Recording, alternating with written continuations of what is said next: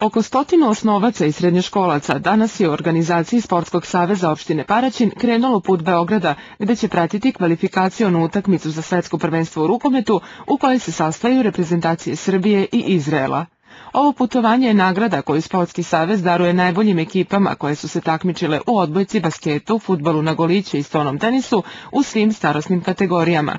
A ove godine nije lako biti najbolji, jer su se za te titule takmičili učenici skoro svih osnovnih i srednjih škola Paraćinske opštine, a bilo je i onih koji su došli iz susednih gradova Ćuprije i Jagodine kako bi učestvovali na sportskoj zimi, što dokazuje da je ovo takmičenje izašlo iz okvira Paraćinske opštine.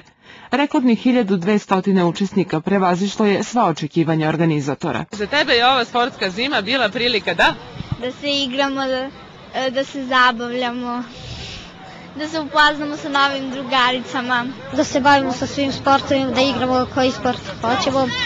Da se igramo, družimo, zabavljamo i upoznali smo nove drugarice iz Drenovca.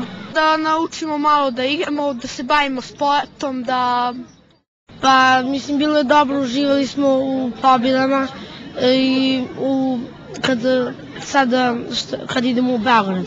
Stariji i ozbiljniji sportsku zimu 2008. doživljavaju na sledeći način. Pa mislim da je ovo nešto izvaredno i da je vrlo fino da se to organizuje ovde u našem gradu. Premda sam ja malo stariji, ali ja to pratim redovno. Mislite li da je ovo putovanje adekvatna nagrada za decu? Pa dobro, mislim da jeste, jer za decu je naj, najbolje da se druže, a ovo je jedan vid druženja i to je za njih najbolja nagrada. O bezbednosti dece koja putuju za Beograd staraće se saradnici Sportskog saveza. Ovim putovanjem nagrađeni su samo prvoplasirani. Na zatvaranju sportske zime 2008. 2. februara po tri prvoplasirane ekipe u svim sportovima i kategorijama Sportski savez opštine Paraćin nagradit će majicama i medaljama.